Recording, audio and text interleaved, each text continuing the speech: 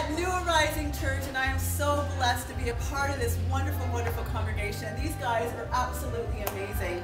And um, many host churches, about eight host churches, including the New Arising Church, and I believe God is going to do great things among this church for their hospitality of reaching our First Nations people across Canada.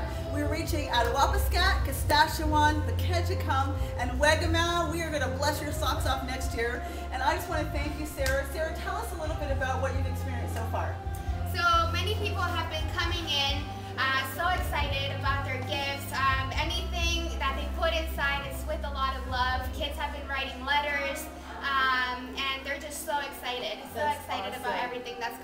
awesome. And we're believing that when they get their stockings, they are going to sense the love all the way from New Arising Church, right? That's right. Amen. so on behalf of Faith Arise Ministries, I want to thank every donor, every person who's given into this project, and every host church. We want to say we love you, we thank you, and we know that Servant Song Christmas Project is going to spread across Canada, and we thank each and every one of you. Gracias, and we love you. Bye. Bye.